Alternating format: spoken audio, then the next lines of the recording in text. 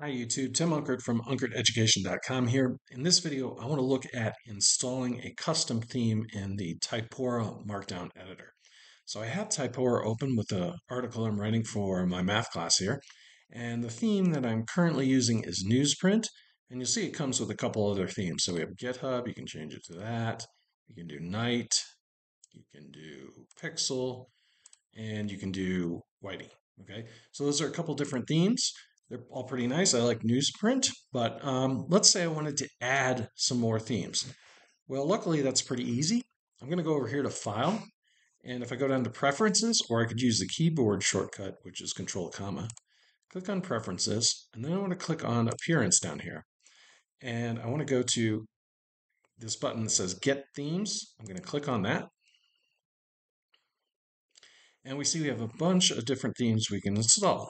So let's say I wanted to do the GitHub dark themes here. So I'm going to click on that and I'm going to go click download and that's going to download. And so I'll go to my downloads folder here. And what I want to do is extract all. So I'll extract it. Uh, so I've got this. I'm going to click on this, and I've actually got a folder inside of this. So I'm going to now copy this folder, and I'm going to go back to Typora, and I'm going to click on this button that says Open Theme Folder. And from here, I will paste that in. So that's the first step.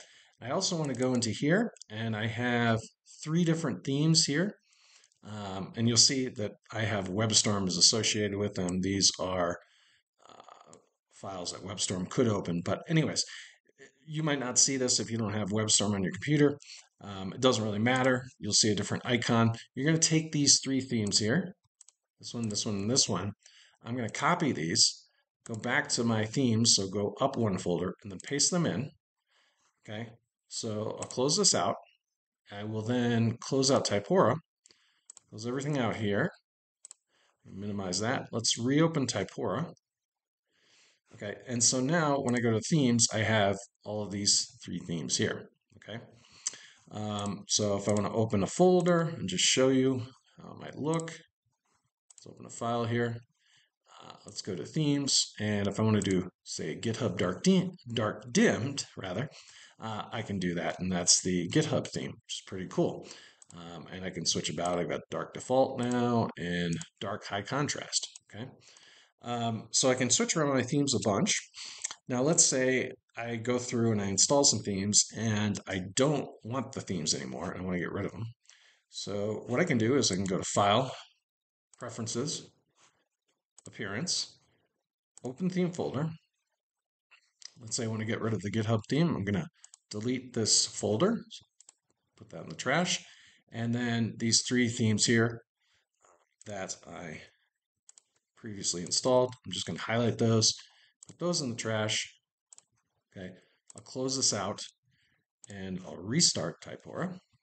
And you'll see it restarts in a different theme. But now you notice that I don't have the uh, GitHub Dark. So let's say I want to choose Newsprint. There we go. Now I can open my folder.